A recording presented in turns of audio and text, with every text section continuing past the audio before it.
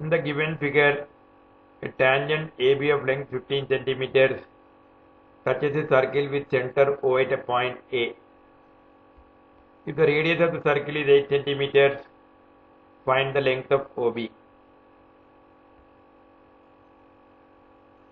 AB is the tangent to the circle.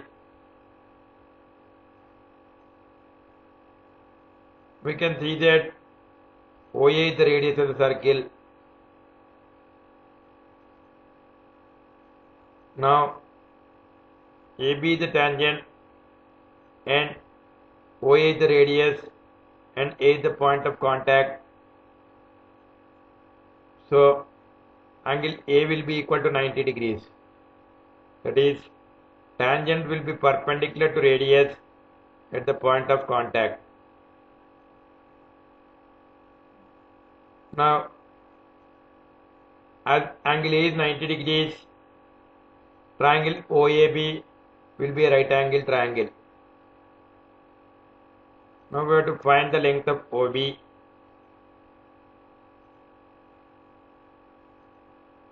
As triangle OAB is a right angle triangle, by Pythagoras theorem we have side square plus side square is equal to hypotenuse square. One side is OA, other side is AB, and OB is the side opposite to right angle. So OB will be the hypotenuse. So OA square plus AB square is equal to OB square.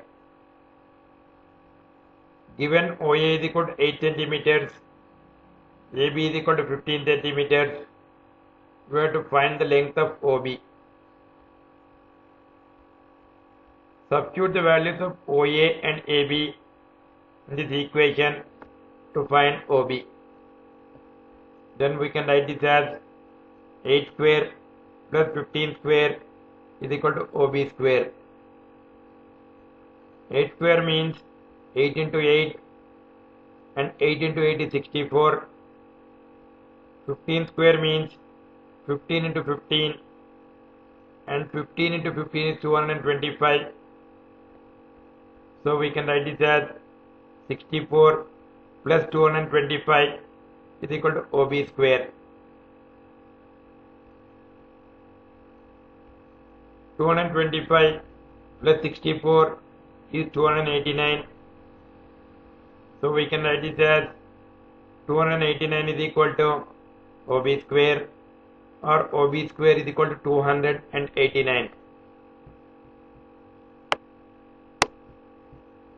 Then OB will be equal to root 289.